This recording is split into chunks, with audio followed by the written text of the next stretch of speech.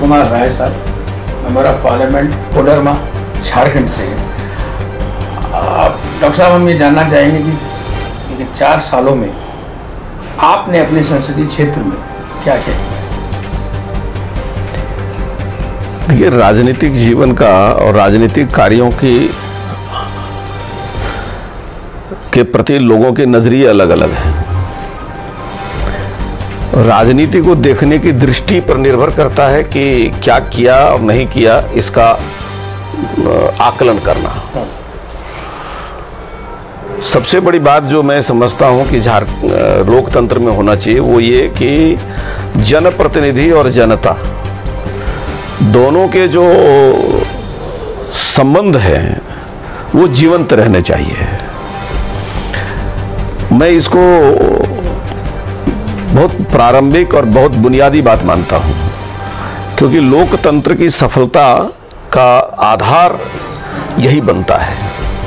और उस मामले में मेरी कोशिश ये रही चार साल में कि जनता से सीधा जुड़ा रहूँ। उनके आ, सामाजिक जीवन उनकी राजनीतिक जीवन उनकी व्यक्तिगत जीवन में हम जहाँ सहभागी बन सकते हैं वहाँ बने तो ये एक नज़रिया है। सामान्य रूप से लोग क्या किए, क्या कर पाए, इसमें कुछ कंस्ट्रक्शन को लेते हैं कि क्या क्या कंस्ट्रक्शन कराए। लेकिन मैं आपको इतना बनाऊँ कि लोकतंत्र के प्रति जो कुछ पढ़े लिखो लोगों में अनास्था पैदा हो रही थी, वो अनास्था को दूर करने का प्रयास मैंने किया कि नहीं, जनप्रतिनिधि सामाजिक जीवन और राजनीतिक जीवन का एक जनवन, जीवंत प्रहरी होता है और समाज से उसका सीधे जुड़ाव रहना चाहिए, वो है। और मेरी कोशिश ये रही है कि हर व्यक्ति, अधिकांश लोग ये महसूस करें कि जनप्रतिनिधि से मेरा सीधा सरोकार है। कहीं मैं खुद, कहीं अपने प्रतिनिधियों के द्वारा पूरे क्षेत्र में अपने संपर्क को बनाए रखने का प्रयास करता हूँ। दूसरा स्टेज है कि क्षेत्र में जो कुछ जन सुविधा के लिए विकास का कार्य है कुछ उनकी ज़रूरत के अनुसार कुछ क्षेत्र में बुनियादी सवाल शिक्षा का है, रोड का है। तो मेरी उस मामले में मैं ये कहूँ कि कुछ मामले में हमारे यहाँ बहुत संजोग सफलता मिली। अभी जब भारत सरकार ने इस बार के बजट में 24 मेडिकल कॉलेज हिंदुस्तान में खोलने का निर्णय लिया, उसमें से एक मेरे पार्लियामेंट कोडरमा में आया। वहाँ राज्य सरकार के स्तर से दो इंजीनियरिंग कॉलेज भी हमारे यहाँ एक गिरिडीह के लिए स्वीकृत हुआ है। कोडरमा में उसका काम चालू है। सेंट्रल विद्यालय हमारे यहाँ केंद्रीय विद्यालय एक भी नहीं था पूरे पार्लियामेंट में आज तक आज़ादी के बाद। गिरिडीह में वो गिरिडीह ज़िले के अंतर्गत मेरे लोकसभा क्षेत्र में केंद्रीय विद्यालय का स्वीकृति हुई, वो शुभारंभ हो गया है। कोडरमा में स्वीकृत हो चुका है। बिल्डिंग में थोड़ी कमी रहने के कारण वो शुरू नहीं हुआ, लेकिन अभी हमको लगता है वो भी प्रारंभ होगा। तो दो केंद्रीय विद्यालय लोकसभा क्षेत्र में मेरे आए। इसके अतिरिक्त कई जो हाई स्कूल हैं, क्योंकि आजकल ग्रामीण क्षेत्रों में एक बड़ी परि- बड़ा परिवर्तन आया है। लोग लड़कों को पढ़ने के लिए तो बाहर भेज देते हैं। लड़कियाँ सामान्य रूप से गाँव में ही पढ़ती हैं। और जो उत्क्रमित उच्च विद्यालय में उसमें सयानी सयानी लड़कियाँ पढ़ने जाती हैं तो इस हाई स्कूल की व्यव- व्यवस्था सुरक्षा की दृष्टि से बेहतर हो। इस दृष्टि से हमने कोशिश किया कि हाई स्कूल का जो उन्नयन हुआ है, उसको एक स्तर दिया जाए।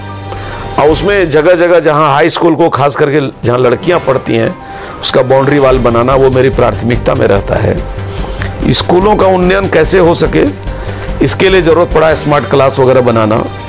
तो ये चीज़ें हम वहाँ विशेष रूप से लेते हैं। और मैं, कोडरमा के बारे में बताऊँ तो मैं अभी तक लगभग, जितनी प्रमुख सड़कें थी हमारी, जो पिछले तीस चालीस वर्षों से बहुत दुर्दशा में थी, टूटी हुई थी, बन नहीं रही थी। तो इस बार राज्य सरकार का जो राज्य उच्च पथ जो विभाग है, उसके द्वारा तमाम सड़कों का पीडब्ल्यूडी डिपार्टमेंट ने टेकअप किया। और लगभग जितनी भी लंबे दूर की सड़कें हैं, वो दुरुस्त हुई। अब उसका नाम भी बताया जा सकता है, कोडरमा से गिरिडीह को जोड़ने वाली जितनी भी सड़कें हैं, उसको बेहतर करवाना और हर एक प्रखंड मुख्यालय को बीडब्ल्यूडी से जोड़ना, ये काम मैंने वहाँ पर विशेष रूप से किया। कुछ क्षेत्र उग्रवाद प्रभावित क्षेत्र थे, वहाँ भी राजनीतिक गतिविधियाँ चालू रहे और उन क्षेत्रों में संपर्क के लिए सड़कों का बेहतर विकास हो जाए। तो ये कुछ बुनियादी चीज़ें हमने वहाँ पर खड़ी की हैं। सामान्य रूप से हर एक मंगलवार को सरकार की ओर से ब्लॉक डे होता है। मैंने एक कोशिश की है और शुरुआत की है कि जो हर एक प्रखंड में हमारे प्रतिनिधि होते हैं, मेरे विश्वसूत्री के अध्यक्ष होते हैं और हमारे जो कुछ प्रमुख लोग होते हैं, वर्कर तो ऐसे प्रतिनिधि हर एक मंगलवार को प्रखंड मुख्यालयों में बैठते हैं और पूरे प्रखंड की जनता जो अपनी समस्याओं को लेके आती है, चाहे वो राशन से संबंधित मामला हो चाहे वो वृद्धावस्था, पेंशन से लेने वाला मामला हो, चाहे वो जन वितरण प्रणाली की समस्या हो तो या रसीद, ज़मीन की रसीद समस्या समस्या जो बहुत बुनियादी है गाँव जीवन का तो उनको समाधान भी हमारे कार्यकर्ता उनके साथ मिलकर के अधिकारियों से कराना, ताकि राजनीतिक रूप से वो अपने आप को कहीं शून्यता में नहीं महसूस करे। ये मेरी कोशिश वहाँ रही है। हमारा क्षेत्र बिहार के बॉर्डर से बहुत लंबे दूरी तक जुड़ता है। और हमारी एक समस्या रही है कि बिहार का जो सीमा क्षेत्र है तो अभी कुछ आपराधिक जो अपने को उग्रवादी कहते हैं, वो बिहार में छिपते हैं। झारखंड में कभी कभी आके दुर्घटनाएँ करते हैं। कुछ न कुछ हाँ और फिर बिहार घुस जाते हैं।